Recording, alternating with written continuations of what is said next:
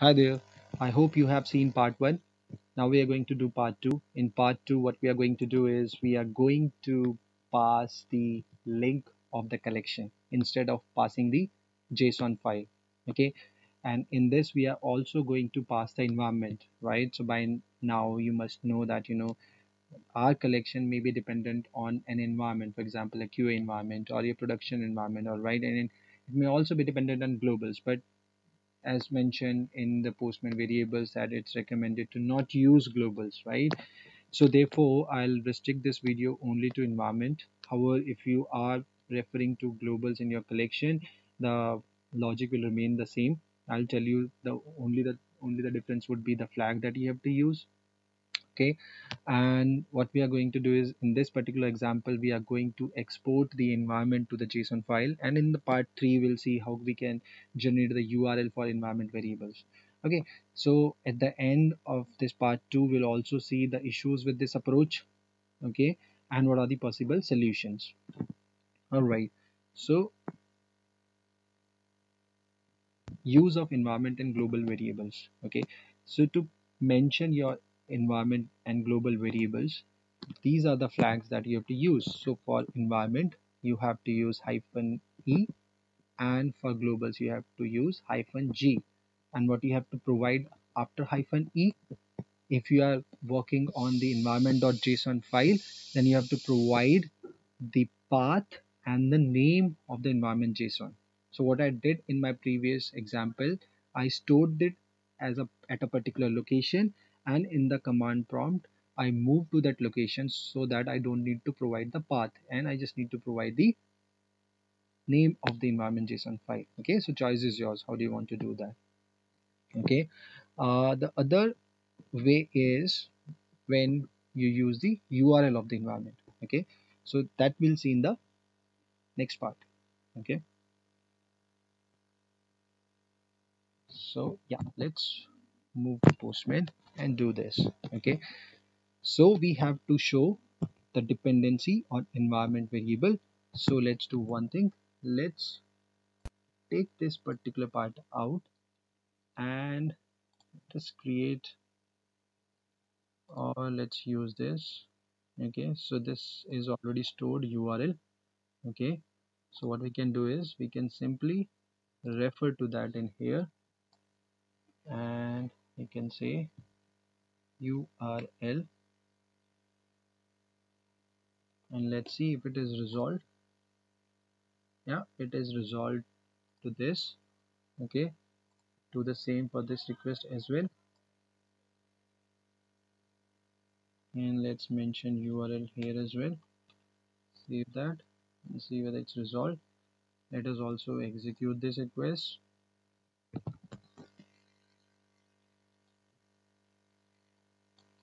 could not. Okay is it running? Okay so see this is the wrong port.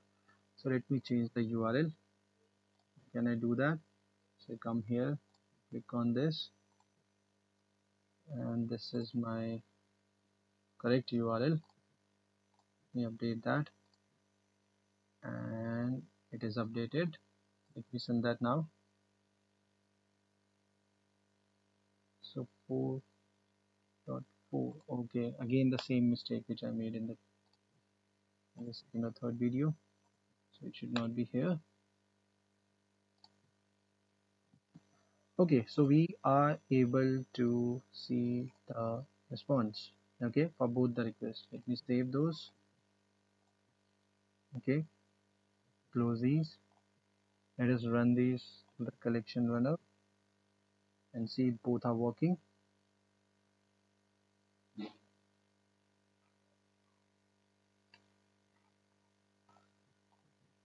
Run from here so yes both are executing successfully.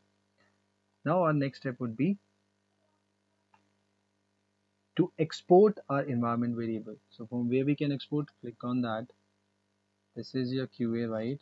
So click on this and let's store it here the same place where we have our collection okay? Newman collection. This is the collection we are working on. Save on this okay? And now instead of that uh, collects collection.json we have to work on the link okay? Let's generate the link. So for that again click on this button. Click on share. Click on get public link. In your case you'll not see any link here so you'll see generate link all right but in my case since I've already worked on this and I've made changes into the collection so I have to click on this update link. So let me just copy that. Come here. We are into that folder. What is the command? Newman run. And then you have to provide url between these quotes okay? And then you have to provide the environment using e and again uh, it's a good practice. Make sure that you use quotes and you provide your data inside these quotes. Okay what was the name of qa yeah so it's generated. And since i'm not providing any certificate so i have to use this flag. In your case you may not be needing that. So i click on ok.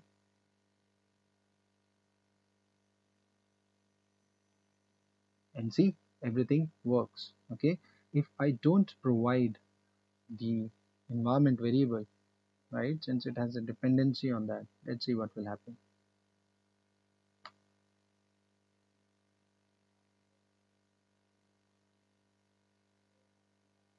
So requests are failed because this particular thing is not resolved right? This is what we set in the environment variable. So it is mandatory for us to provide the environment. How can we provide the environment? Pretty simple right? All you have to do is just do hyphen e in case of environment variable and provide your collection uh, environment.json file. Okay? Great. Now let's see what's the problem with this approach. Okay? So now I go to here. Open one of the requests and let's write a test. And let's go for response time is less than this. So let's make sure that it fails. Okay. Uh, let me send this request and see if it is failing. So yeah a test is failing. Okay. And let's change it to 10 right. To ensure that it will always fail. All right so expected 90 to be below see that was the reason. So we had 100 now and now it is dropped to 90 so 10 will work in all the cases. Let me do one more again. It's still failing. All right great. So now let me go here and press the up key. Okay. So what i'm doing is newman run providing the same url and providing the environment as well. And I'm executing that. And it is going to pass here. Okay. Why is it passing? And it is failing in your app. Okay. The reason is not this one. So when you generate the link what it does it takes the snapshot of the collection at that moment of time. Okay.